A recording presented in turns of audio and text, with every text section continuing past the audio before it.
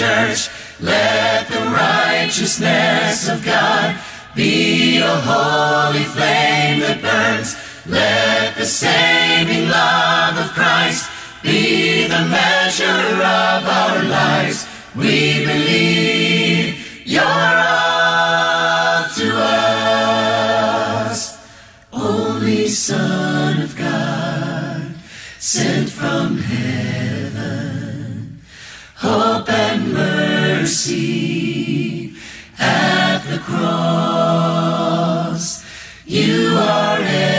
everything, you're the promise.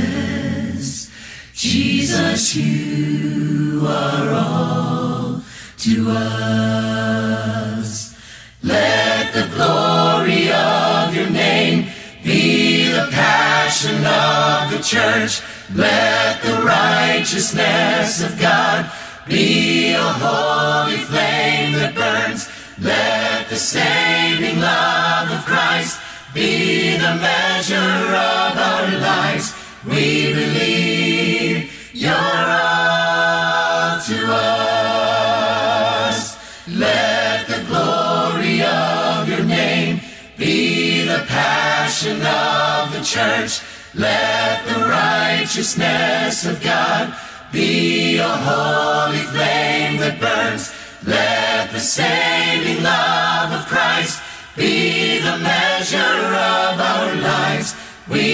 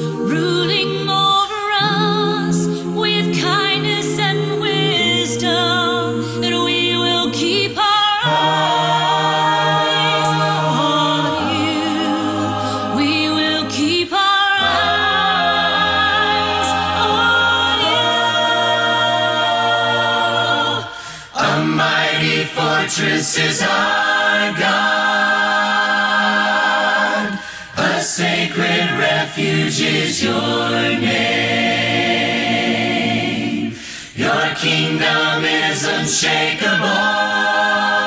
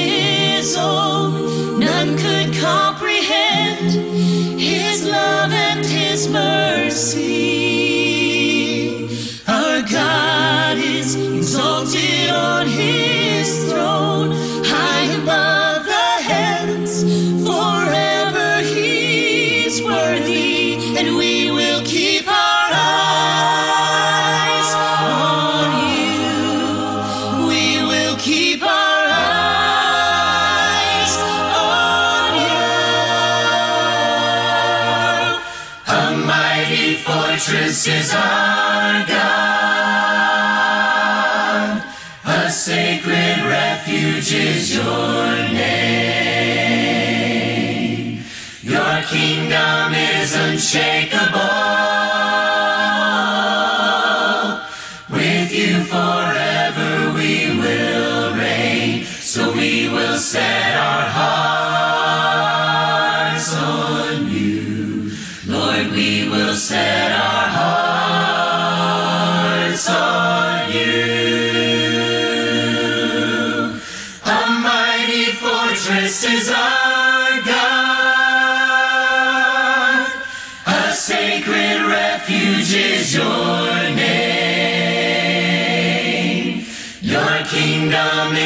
unshakable.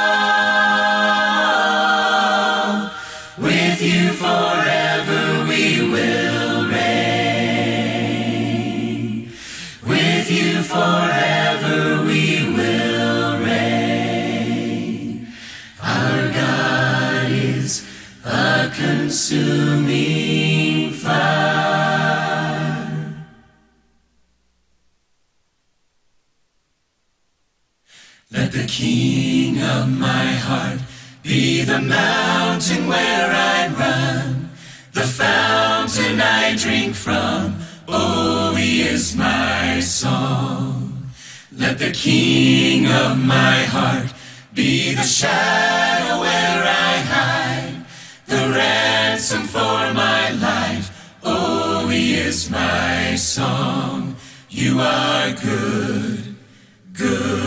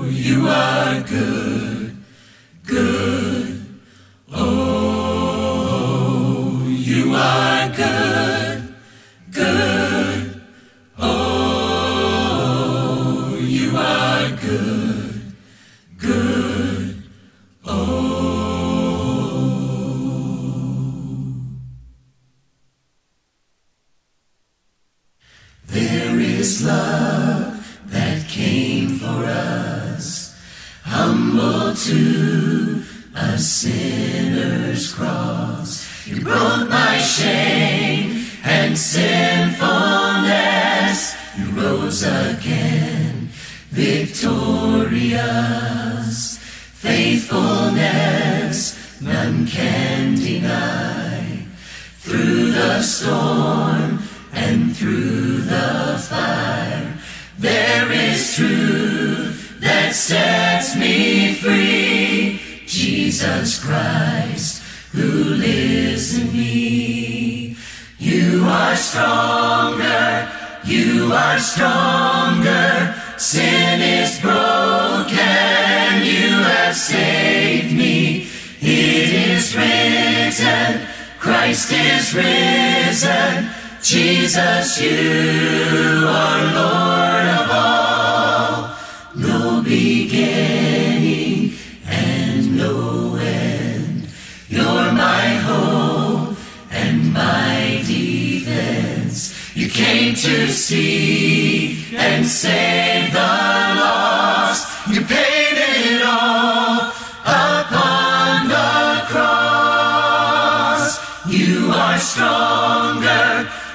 You are stronger. Sin is broken. You have saved me. It is written. Christ is risen. Jesus, you are Lord of all. So let your name be lifted higher, be lifted higher, be lifted higher.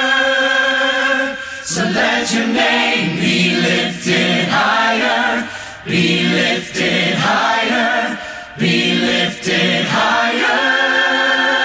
So let your name be lifted higher, be lifted higher, be lifted higher. So let your name be lifted higher, be lifted higher, be lifted higher. You are stronger, you are stronger. Sin is broken, you have saved me. It is written, Christ is risen. Jesus, you are Lord of all. Jesus, you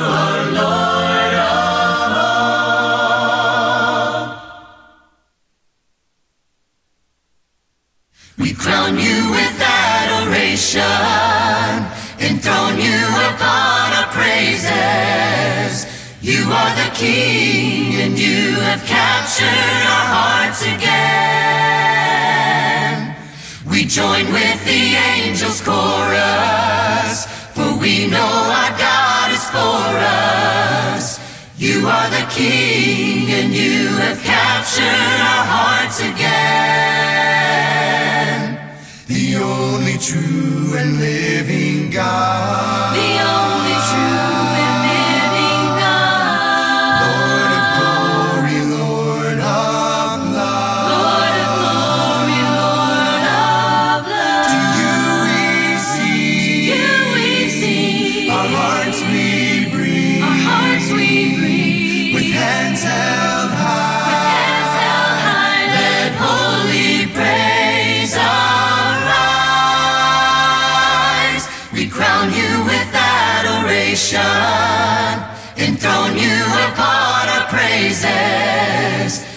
Are the King, and you have captured our hearts again. We join with the angels' chorus, for we know our God is for us. You are the King, and you have captured our hearts again. Crown you with adoration, enthrone you upon our praises. You are the King, and you have captured our hearts again. We join with the angels' chorus, for we know our God is for us. You are the King, and you have captured our hearts again.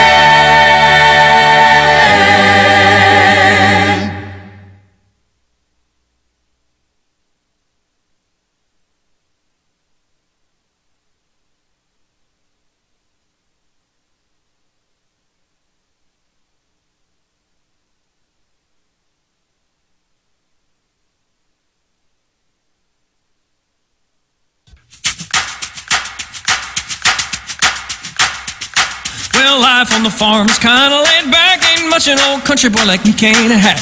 Early to rise, early in the sack. Thank God I'm a country boy. Well, a simple kind of life never did me no harm. Raising me a family and working on a farm. Days are all filled with an easy country charm. Thank God I'm a country boy. Well, I got me a fine wife, I got me old fiddle. What do ducks eat with their soup? What? Quackers.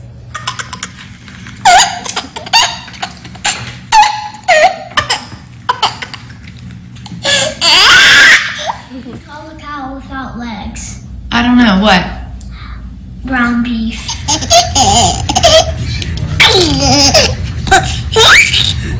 Cows go Saturday night to the movie.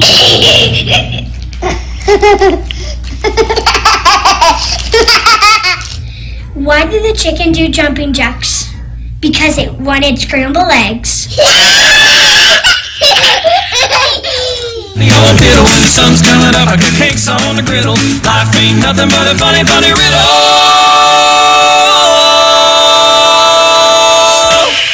Yeah! Thank God I'm a country boy.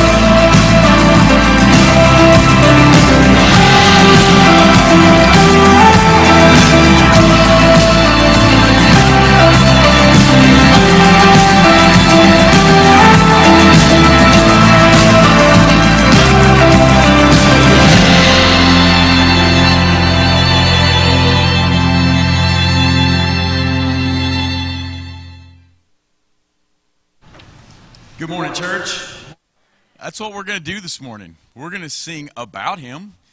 We're going to sing to him.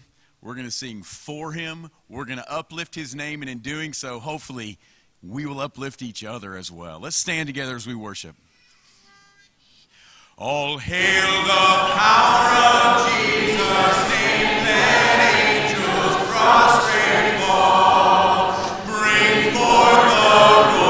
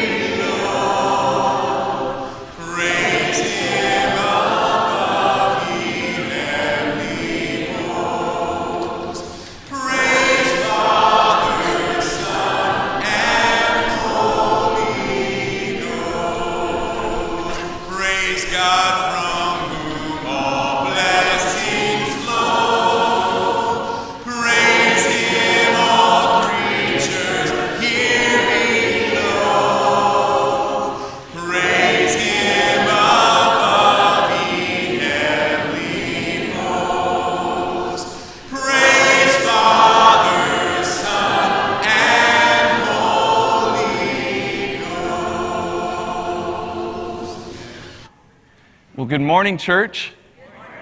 The last few weeks, we have been talking about worship in our assemblies. And as we continue worshiping today, I want to share just a brief thought about worship.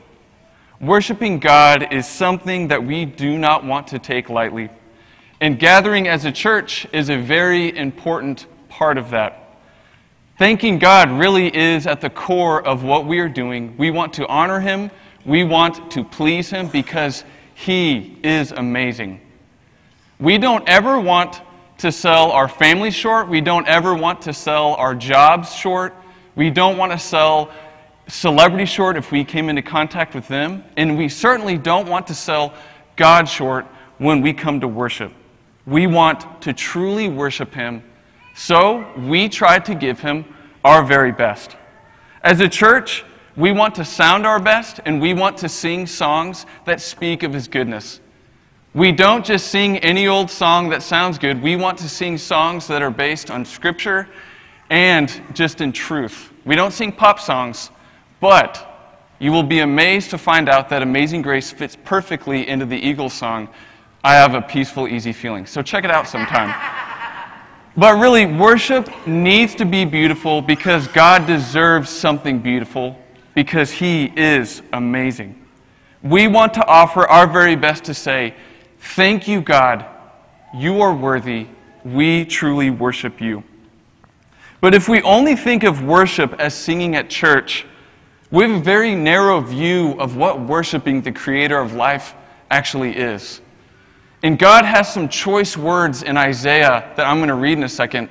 And he's a little upset with the Israelites. He says in Isaiah 1 13 through 17, this is God to the Israelites Stop bringing meaningless offerings. Your incense, incense is detestable to me. New moons, Sabbaths, and convocations, I cannot bear your worthless assemblies. Your new moon feasts and your appointed festivals, I hate with all my being. They've become a burden to me. I am weary of bearing them. When you spread out your hands in prayer, I hide my eyes from you. Even when you offer many prayers, I am not listening. Your hands are full of blood. Wash and make yourself clean. Take your evil deeds out of my sight. Stop doing wrong and learn to do right. Defend the oppressed. Take up the cause of the fatherless. Plead the case of the widow. God's pretty upset. And in many ways, what he's saying is if you acknowledge me and if you want to worship me, have a life that looks like it. And I think for us, that is such a good reminder that worshiping God isn't just these two hours on Sunday and then one hour on Wednesday. It's to have a life that is pointed towards Him. True worship is to obey God. It's funny whenever you consider celebrity endorsements or commercials. Just about every commercial is this Hey, you like this person, they use this product. So should you. And it works marvelously. One of the most famous advertisement campaigns ever in American culture is the Got Milk milk campaign. Milk campaign. And it's just celebrities drinking milk and having a, a milk mustache. It's been going since 1993 and it's still going. And the funny thing is, is that we have always known that milk is healthy. But whenever you see Shaquille O'Neal and his mom have milk on their mustaches, then it's like, hey, Let's drink some milk. They, they did it. It's good enough for me, too. We listen to celebrities whenever they aren't even known for their wise words. They aren't known for loving us. They aren't known for even, maybe even living a good life. We just like their smiles. We like their talents. We have so many reasons to actually listen to God and to obey Him. He loves us.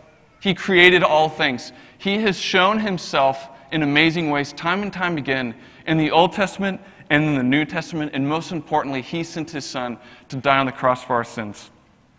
The best way to respect God, the best way to acknowledge Him, the best way to worship Him is to do what He says and to obey Him. Jesus says in John 8, If you hold to my teaching, you are really my disciples. John 14, he says, If you love me, keep my commands. We want so badly, and we're expecting to just see God in the big miracle moments. But truth is, is that He's offering His goodness to us every single day to just walk with us when we obey Him. So, if true worship is to obey Him, I think it has a pretty meaningful context for what the church does when we gather together. We gather to join God as a church in what He is doing. God uses His church and His people in wonderful ways, but He is still the main star. We are dependent on Him. Humans, we do not change hearts, God does. Humans, we do not, we have not been around for eternity, God has. We do not know the future, God does. We can choose to obey Him and join Him and thrive, or we can suffer the consequences of sinning against each other and ultimately God Himself. So, meeting together again is very important, and we want it to be the very best it can. But church worship really should be more about submitting to Him rather than to showing to Him. He does not need our worship. True worship is more about godly activity instead of human creativity. I'm going to say that again. True worship is more about godly activity than it is human creativity. It's about what He's doing rather than what we are doing.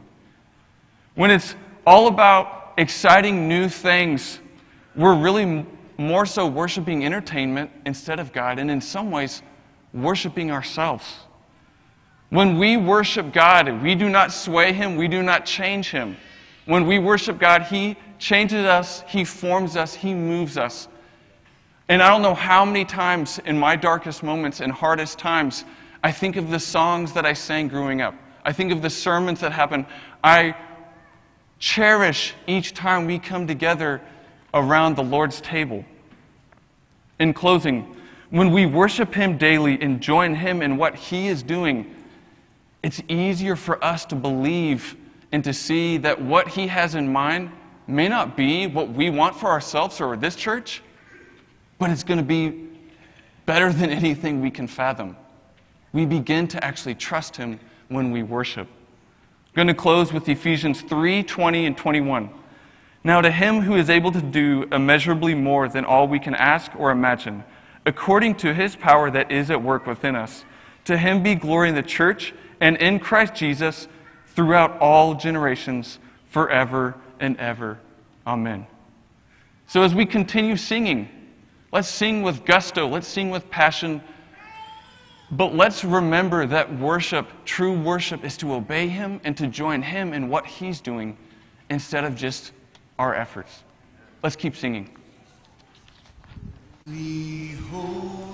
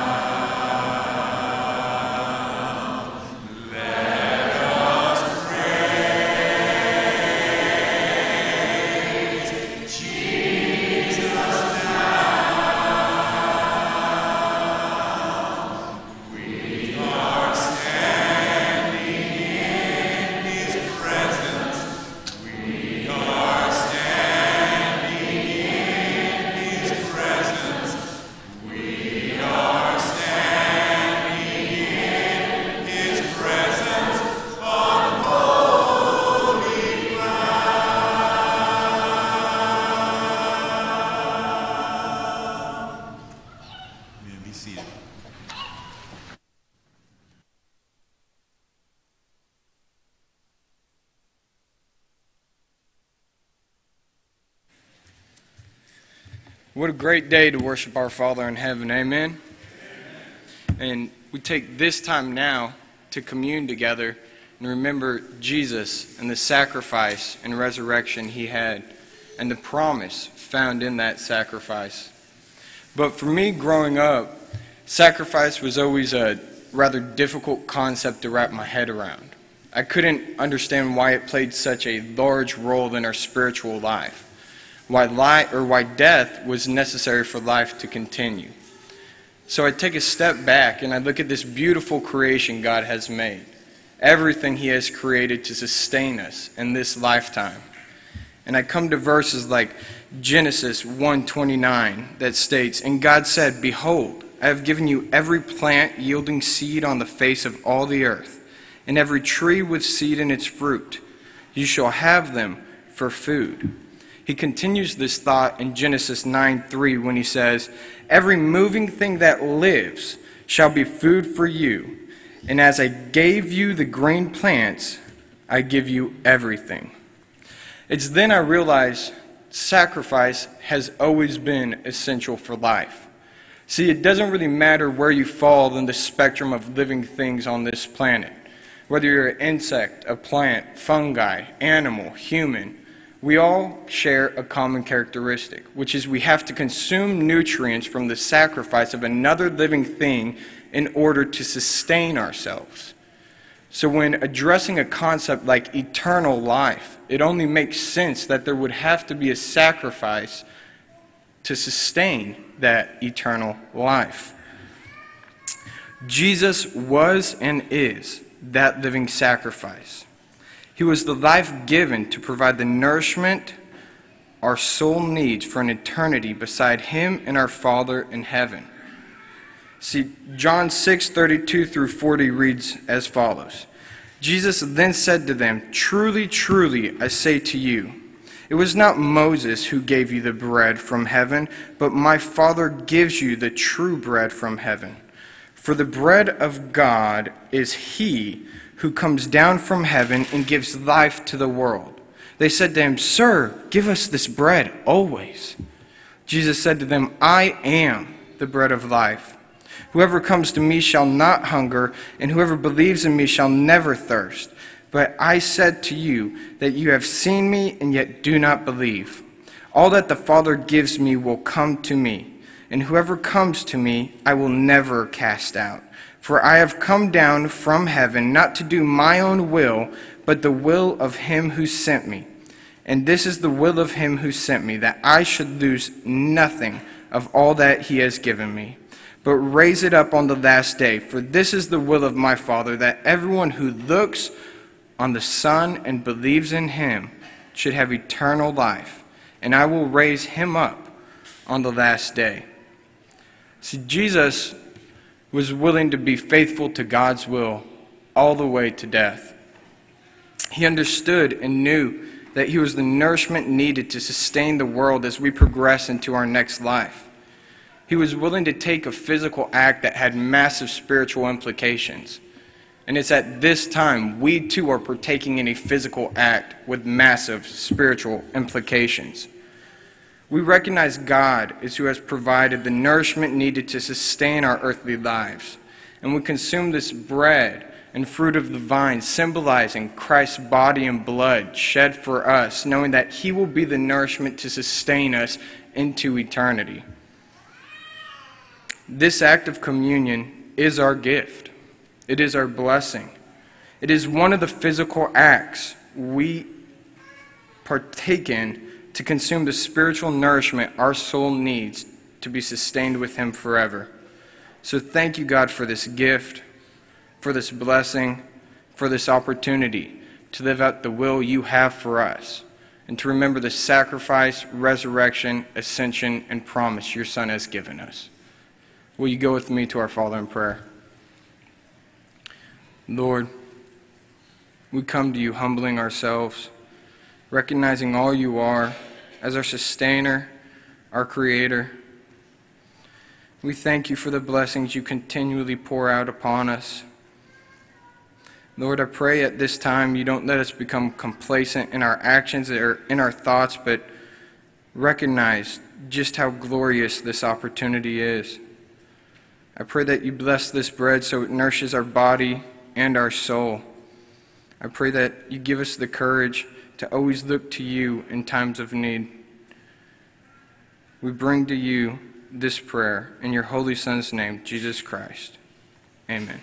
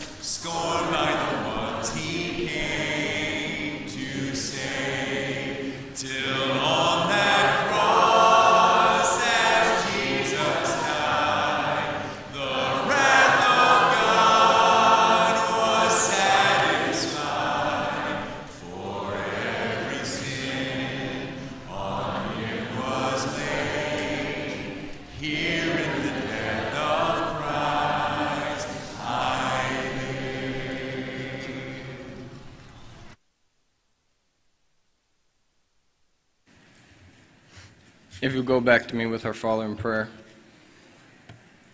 Lord, again, we come to you humbling ourselves, thanking you for the opportunity to come to a church like this and be able to worship your majesty and your grace and your perfectness. Lord, we know that there are so many brothers and sisters throughout the world right now that don't have this luxury, that don't have the opportunity to openly proclaim you are King there are many across the world that are losing their lives being faithful to your will to death.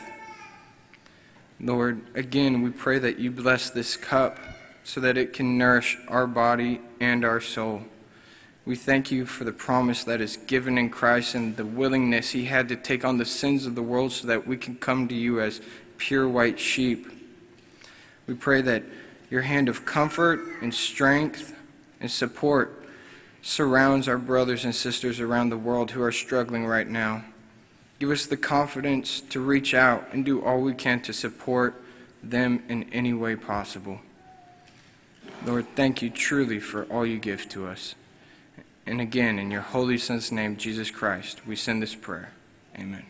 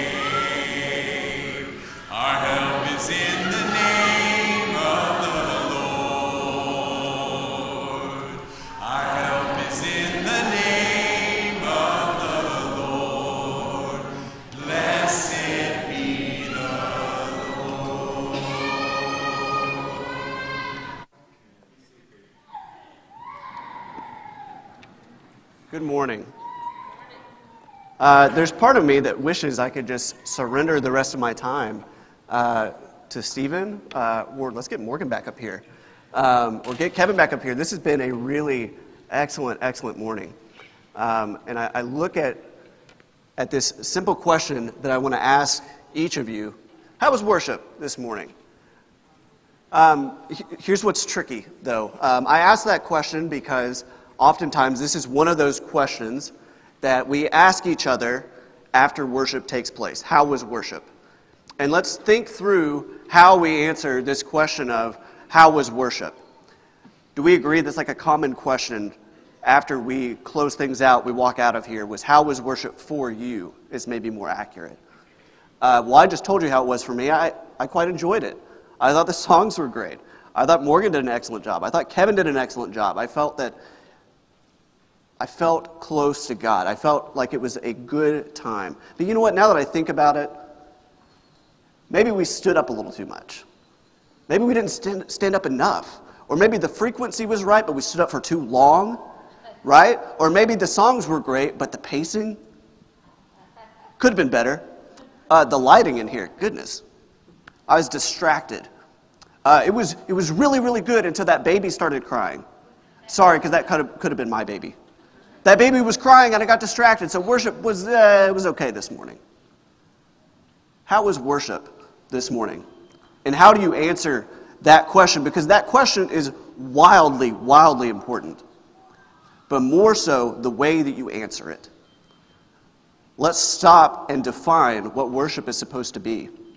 I found this very simple definition for worship to acknowledge God.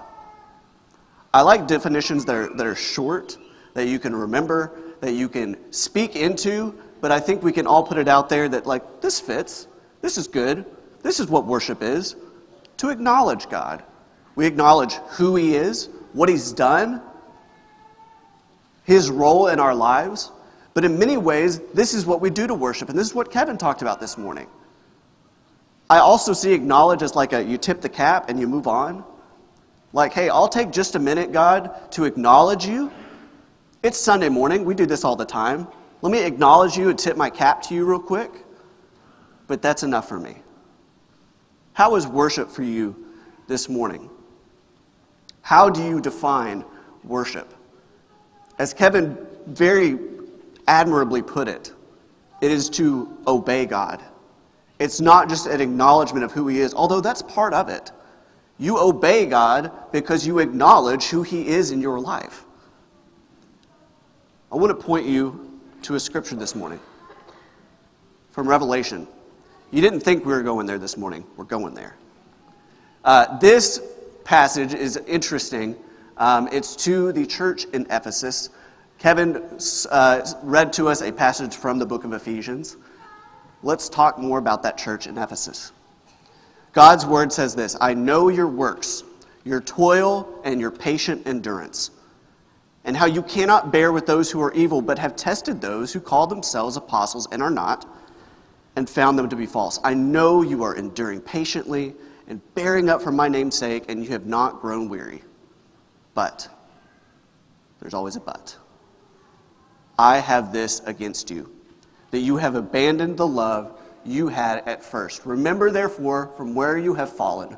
Repent and do the works you did at first. If not, I will come to you and remove your lampstand from its place, unless you repent. I want to challenge you this morning because this challenges me. It's not enough to just heartlessly obey God. It's not enough to go through the motions and say, Yep, I've covered my bases. I came to church this morning. I acknowledge who God is. I obey Him during the week. We're solid. We're good. A lot of marriages fall apart for that very reason. You go through the motions, you do the things you're supposed to do, but there's something missing. You go seek that out somewhere else, and then marriages fall apart. This happens in friendships, it happens with your work because you, you do your work, you go show up on time, you do all the things you're supposed to do. Something's missing, you get tired, you get in a rut, and you quit or you do bad work. But this is exactly what happens with our relationship with God. It's not enough to just go through the motions. That's not worship. You could hit every single note in one of the more difficult songs you could think of here in worship, and you could sound great, and you still missed the mark. Growing up, if I had a nickel for every time my dad said this, uh, I would have very full pockets of nickels. My dad always said, Son, when you decide that you found the person you think you want to marry, you need two things head and heart. You gotta have both. And my dad would tell me these, these little anecdotes. This sounds like my dad's ladies' man. Those of you who know my dad, Lowell Pugh, not so much a ladies' man. But he would tell me these stories of uh, girls that he had dated where he might have one, but not both. There would be a, girl that family liked, her family liked him, everybody got along, she made sense on paper, checked all the boxes, that's great, but this wasn't there. And that was a problem. And so it didn't work out. Or maybe it's the other way around. The heart's there, right? You fall for this person, you're so excited, it's great, it's amazing, but nothing about it makes any lick of sense. When it comes to worship, God wants both of these things from you. He wants both. He doesn't just want your head where you're you know, going through the motions and you're doing the things and you're obeying Him in your life and you think you've got it all covered. He wants your heart too. But it's not enough to just say, Well, I love God and do whatever you want. That's not how worship works either. You got to have both. This cautionary tale in Revelation is, is pretty powerful to me because uh, although it be written so long ago, I, I feel like it describes me so often. Where I look at this, this passage and it steps on my toes when I'm like, man, I'm, I'm a minister and I, I check a lot of boxes most of the time. But if I do a, a quick heart check, because worship, as Kevin said this morning, is not two to three hours a week at designated times. It is a lifestyle. It is you positioned toward Christ and letting Him work on you. It is a relationship that supersedes marriage, work, friendship, family, you name it. And God wants your head and your heart. He wants both. So, I'm going to try to land the plane. Um, I had to ask Lisa Kelly this morning if I'm authorized to do this, just as a youth minister. But uh, here's what I'm going to do we're going to do a classic. We're going to have a time where we stand up and we worship, we sing a song, and you have an opportunity to come down and talk to an elder. And if there's something that is wrong or something that you want to change or you want to discuss, or if you're ready to get baptized, all that jazz, you can do that. Here's the trick is when we talk about worship and I say that it's not 2 to 3 hours a week, this is not your only opportunity to turn your life around. This is not the only time that you have to go to someone and say, "My head's not in this," or "My heart's not in this." It is not your only opportunity to go to Christ and say, "I got to change." I grew up in the Church of Christ and I had moments where I was thought I was ready to be baptized and we'd already be on verse 3 of the invitation song, and I'm like, well, I've missed my opportunity. Maybe next week. Your opportunity to come back is not limited to a few verses of a song on a Sunday morning because worship is not three hours a week. So, if you do want to have that time where you stand up and you come forward, we're about to have that. But please hear me. God wants your head and your heart, and He is not just available three hours a week. If you do have a need, you can come now as we stand up and sing. Everyone needs compassion, love that's never failing. Let mercy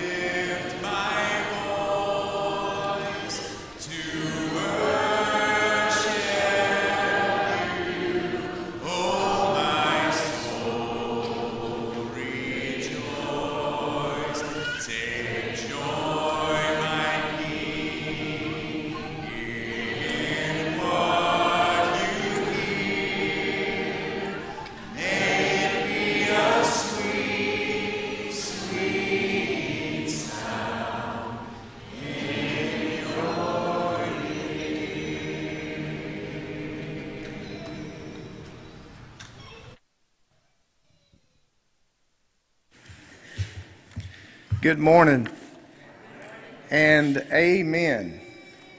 The Kevins, Morgan, awesome job, guys. Um, this morning we have uh, Kelly Benefield and Baker and Bowen. I believe that's Bowen. I hope I'm saying that right. Bowen are here this morning. Kelly, could we please get you to stand if you're here? There you are, right over there. There she is. She wants to place membership with us this morning. That is awesome. Thank you, Kelly, for placing your faith in us. And I know you got a good friend there beside you, Tabitha. Uh, so thank you for joining us this morning. Uh, uh, Joe Velez comes this morning asking for your prayers. As you know, Joe recently and, and his sweet bride, they've lost, a, they lost their son-in-law. And uh, Joe just asked for prayers this morning. He said, I just had a really hard time getting up and coming in this morning. So uh, that's understandable. And we just want to uh, lift them up in prayer right now. Uh, we know others that are hurting uh, from loss. Um, uh, that, that's just a tough thing to go through, and we're just going to pray for Joe right now. Father God, we, uh, we lift Joe and his sweet bride up this morning and their family as they are suffering they're hurting, dear God. Uh, they're just really down right now, and it's just a tough time, and understandably so, dear God. And you know, we're gonna, we all know we go through peaks and valleys, dear God, and you're always there in those valleys. Sometimes we just uh, are so distracted by what's going on in our life that we forget that. And we just ask you to help Joe and his family to remember that you are right there with them, holding them up walking right beside them, carrying them at times. And that's probably what's going on right now, dear God. There's some carrying going on. And we just appreciate Joe and his family and their love for you and their service to you, their example to us, dear God. We just ask you to be with them, put your hand on them, comfort them at this time. And for others, dear God, that are hurting also for loss in their families and friends. Uh, these are different days, dear God. Sometimes this gets pretty difficult. We just need to remember that you have this and that uh, we can trust in you always, unfailing, uh, never ending. Thank you for sending Jesus to save us, dear God, and it's in his name we pray. Amen.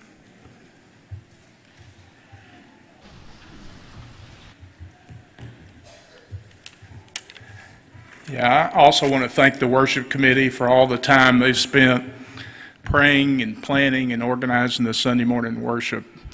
Many of you may not be aware of it, but we actually have members who volunteer to meet each week. And what they're trying to do is they're trying to figure out how we can all better communicate God's glory, His majesty, His characteristics, His grace, and really the most amazing fact that all, of all that He wants to have a relationship with each one of us. You know, if you think about it, worship flourishes when we really know who we are and we know who God is and we see how massive that gap is and how Jesus is the one that fills it. So, coming here on Sunday, we, we don't want it to become a ritual or a habit, and we've got to kind of fight against that, right? It's kind of hard. Instead, we want it to be a time when we can remember who God is, we can encourage each other to seek Him, and that we can recharge. And then when we go out during the week, we can continue to worship during our everyday lives. We're going to have a couple of elders available if anybody needs prayers. And this week we're going to put them in that little room, the conference room down the hallway there to the left. If anybody needs a prayer, if anybody has questions, feel free to go to them. Thank you. Stand together and sing one more song. Salvation belongs to our God,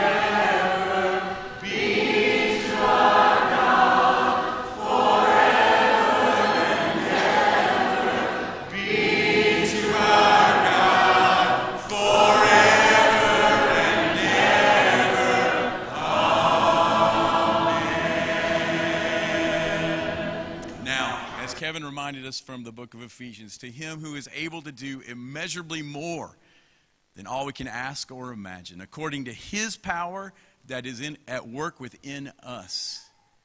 To him be glory in the church, and as Kevin reminded us, not the church building alone, but in us. We are the church, and in Christ Jesus throughout all generations, forever and ever. And the church said, Go worship, go shine your light, go get some coffee. Have a great week.